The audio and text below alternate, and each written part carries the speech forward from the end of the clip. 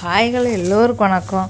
இந்த வீடியோவில் என்ன பார்க்க போகிறோன்னா இன்றைக்கி செல்லம்மா சீரியலில் என்ன போட போகிறாங்க அப்படிங்க பார்க்க போகிறோம் இன்றைக்கி செல்லம்மா சீரியலில் வந்து பார்த்திங்கன்னா எங்கள் சித்து வந்து பயங்கர வருத்தப்படுறாரு செல்லம்மா வந்து திட்டுறாரு. எங்கள் அம்மா வந்து பார்த்தீங்கன்னா நீங்கள் எங்கள் அம்மா போய் வந்து இப்படி வந்து எங்கள் அப்பா பொல்லாதவர் காட்டிட்டீங்க. இதனால் உங்களுக்கு என்ன கிடைக்க போகுது அப்படின்னு தப்பாக பேசுகிறாரு நீங்கள் நீங்களா சார் இப்படியெல்லாம் வந்து பேசுகிறீங்க வேணும்னே நீங்கள் எங்கள் அம்மாவை இப்படி பண்ணியிருக்கீங்க அப்படின்னு தப்பாக பேசுகிறாரு இதை கேட்டு செல்லம்மா வந்து ரொம்ப வருத்தப்படுறாங்க. ஏன்னா அவரை புரிஞ்சுக்கிட்ட ஒரே ஆள் செல்லம்மா நினச்சேன். நீங்களே இப்படி பேசுகிறீங்க சார் அப்படின்னு மனசு ரொம்ப வருத்தப்படுறாங்க.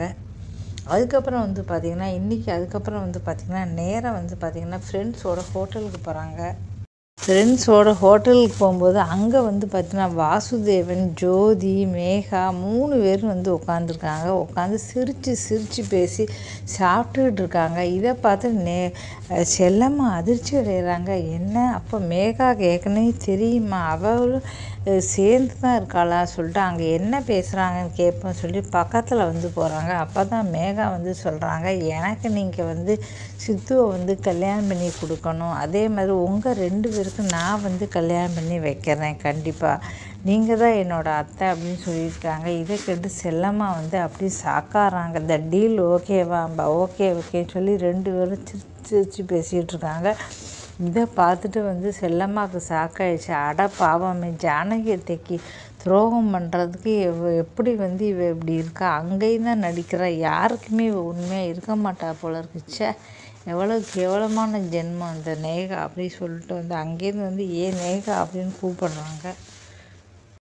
ஏ நேகா? அப்படின்னு கூப்பிடுறாங்க. உடனே இதை பார்த்துட்டு அப்படியே சாக்காராங்க ஐயோ செல்லம்மா பார்த்துட்டாளா? கண்டிப்பாக ஜானகி எடுத்துகிட்டு போய் வந்து சொல்லிடக்கூடாது அப்படின்னு பயப்படுறாங்க. என்ன நினச்சிட்டு இருக்க? மனசுக்குள்ளே எங்கள் அத்தைக்கு நீ துரோகம் பண்ண.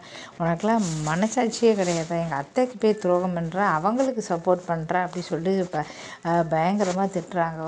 ஆமாம் எனக்கு வந்து சித்து வேணும்.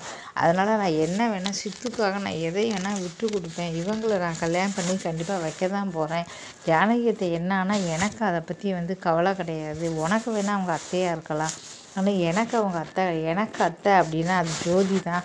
அதனால் இவங்க ரெண்டு பேரும் நான் கல்யாணம் பண்ணி வைப்பேன். இவர் வந்து எனக்கு சித்துவை கல்யாணம் பண்ணி வைக்கிறேன் அப்படின்னு சொல்லியிருக்காரு அப்படின்னு சொல்கிறாங்க இதை கேட்டு கோபமடைஞ்சா வந்து பார்த்தீங்கன்னா செல்லம்மா வ வைக்கிற ஒன்றை என்ன செய்கிறேன் பாரு அப்படின்னு சொல்லிட்டு கோபத்தோடு போகிறாங்க இதுக்கப்புறம் என்ன நடக்க போகுது அப்படின்னு நம்ம பொறுத்து இருந்து பார்க்கலாம். இந்த வீடியோ பிடிச்சா மறக்காமல் சேனலை வந்து சப்ஸ்கிரைப் பண்ணுங்கள் தொடர்ந்து வீடியோ பாருங்கள் தேங்க்யூ ஸோ மச் வாட்ச்